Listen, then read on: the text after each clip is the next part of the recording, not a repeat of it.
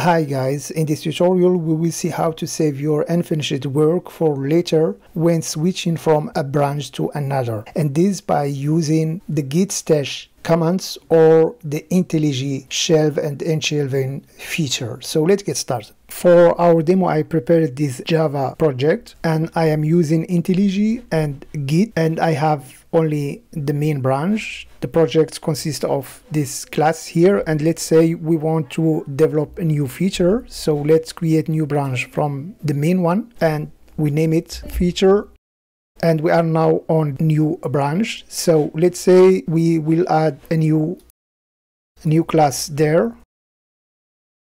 And you see the file is added to a git. For some reason you need to switch back to the to the main branch to fix another issue or to check something there. So after adding this class you see in the commit menu here that i have one uncommitted work so if you want to go back to the main branch so you have two possibility either you commit your change, but usually you don't want to commit unfinished work. So let's see what will happen if we, we go to the main, to the other branch. So check out. Normally, in some cases, Git will prevent you to, to do that. But in this case, we were able to go to the other branch. And you see this file is also present in the main branch. And usually this is not what you want. So you see here even you can commit this file in the other branch. And this is usually not a good situation. So what we can do let's go back to our branch. We check it out. So normally when you want to switch to another branch you have two possibility. Either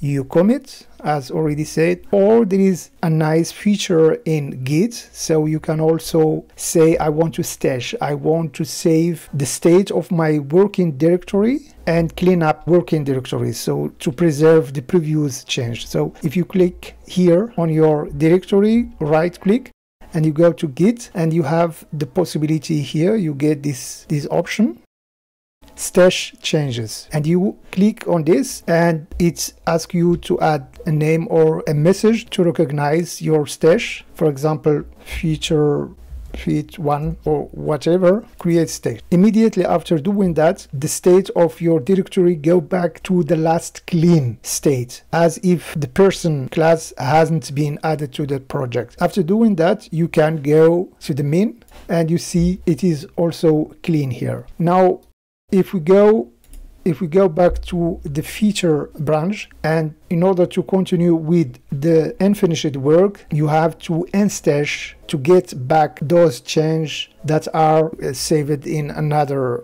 place. So to do that you have only to click here and go to git and after that unstash changes. So you see here we have only one available uh, stash. So if we apply the stash we will get the change in the feature again. But there is another option. You can select this one pop stash. If you select this so the stash will be also deleted. So let's try it out. Pop stash. So you see the change are again available. And you can edit. This was one option how to save your work for later. There is another way to achieve that. You can, if you are using IntelliJ, there is one feature. So instead of stashing, you can shelve your your change and this however this is linked to the id not like stash that is linked to a git so you can shelve your change here and you see now there is nothing to commit and you can switch back to the main branch.